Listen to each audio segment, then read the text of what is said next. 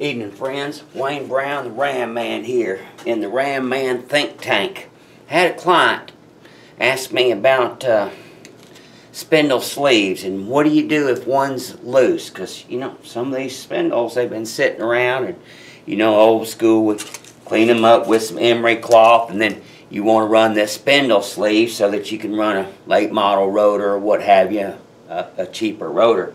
And you see this is original E-body spindle here, so We've got our spindle sleeve.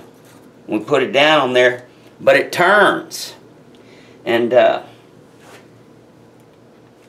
we don't really we don't really want it to turn. We want it to stay stationary. So, uh, red Loctite, uh, mechanics glue, good to about 400 degrees.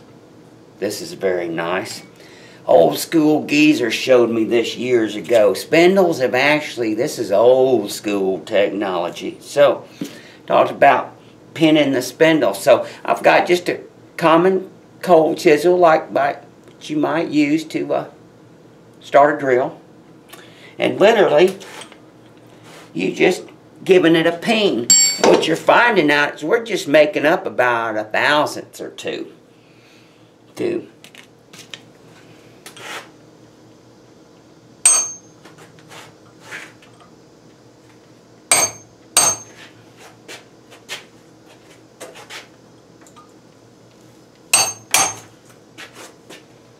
Now,